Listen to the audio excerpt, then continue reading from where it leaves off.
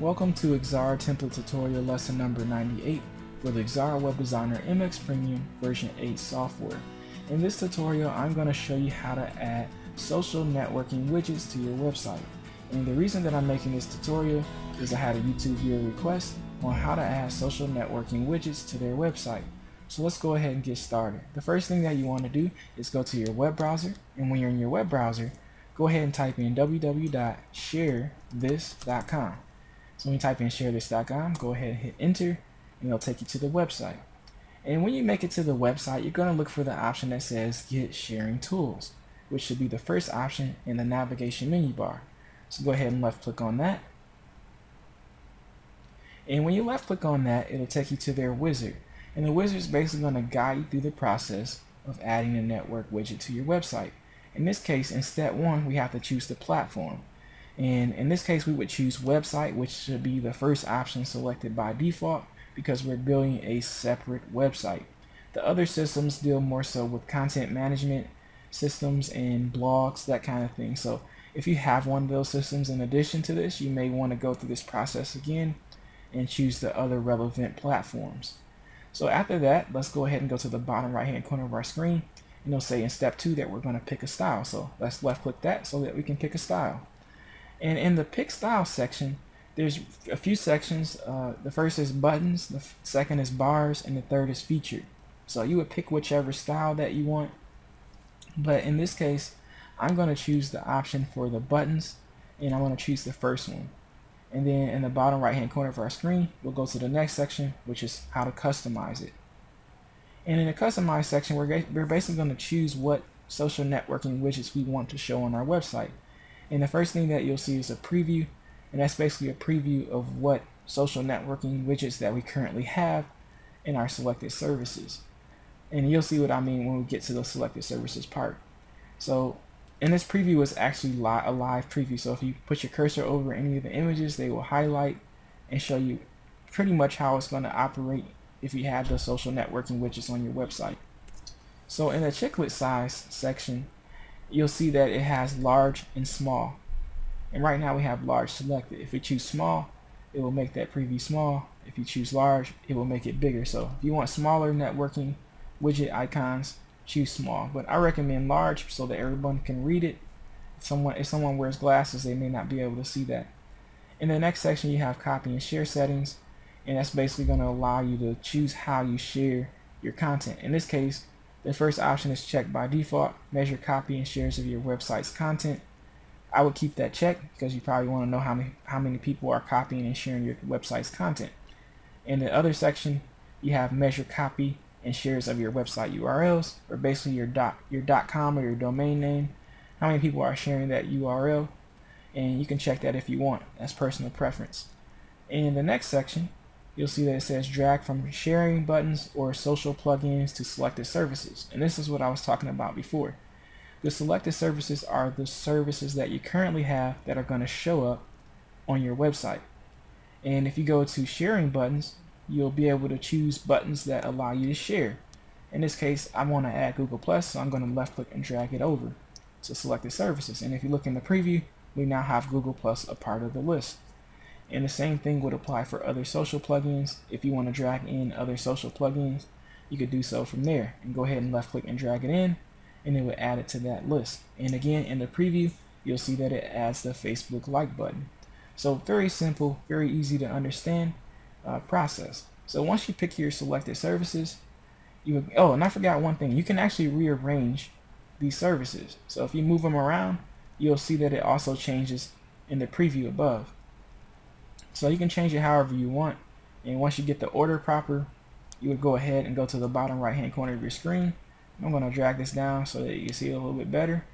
And you'll see the option that says finish, get the code. Go ahead and left click that. And a window will pop up.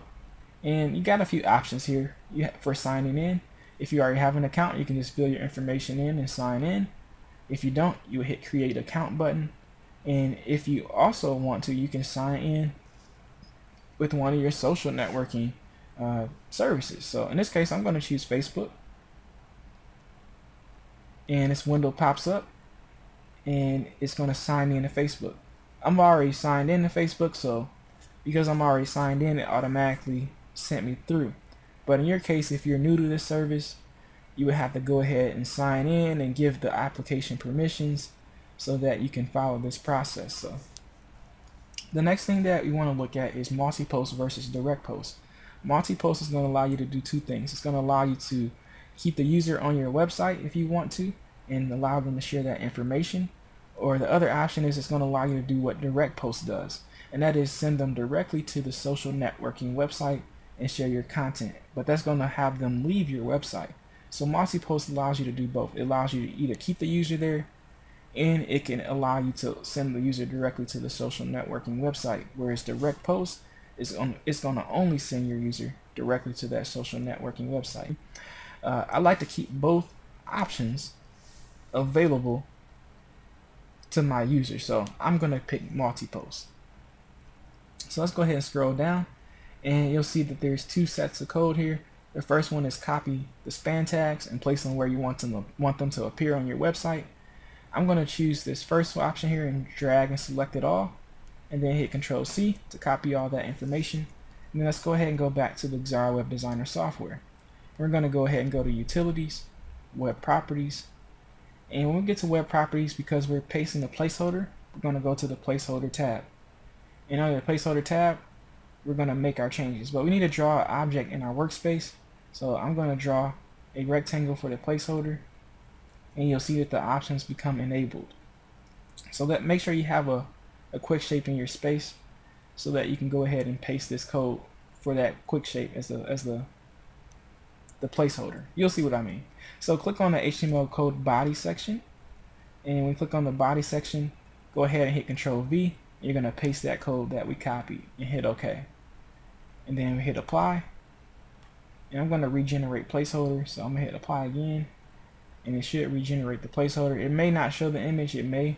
See, in this case, it didn't show the image, so if it doesn't do that, my recommendation is to go to your color editor at the bottom here and select one of the colors and hit fill color. That way you can know where your images are placed at.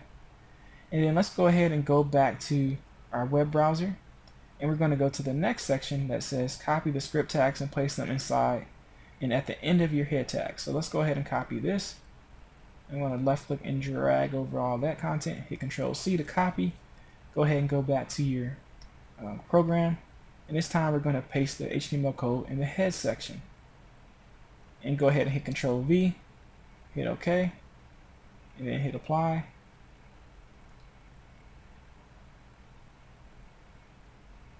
And when I hit apply, you see that it now shows the social networking widgets. Before it didn't show it right away because I didn't have all the code that was necessary for it to display that. But now that I have all the code correctly integrated, integrated into the software, it now shows the social networking icons. So I'm going to hit cancel because I've already applied the effects that I want. You could hit OK, but it's going to regenerate that placeholder again. And I don't want to do that. So I'm just going to hit, hit cancel in this case. And then if we go ahead and go to File, Preview Website, I'm going to preview web page because I don't want to preview the whole website actually. So that's how you add your social networking widgets to your website. And you know, once you actually upload your website to the internet, it should function correctly. Mine may not function correctly because I'm not actually having my content physically on the server right now. It's just a preview. But when you upload it to the internet, it should behave 100% correctly. So that's the reason I'm not going to actually walk you through the whole process of actually clicking on the buttons because I haven't actually uploaded it to my website. But yeah, that's how you use social networking widgets. If this tutorial was helpful, embed, subscribe, leave thumbs up. Uh, you know, comment, let me know if you enjoyed this tutorial, and I hope that you stay tuned for future tutorials. Have a great day.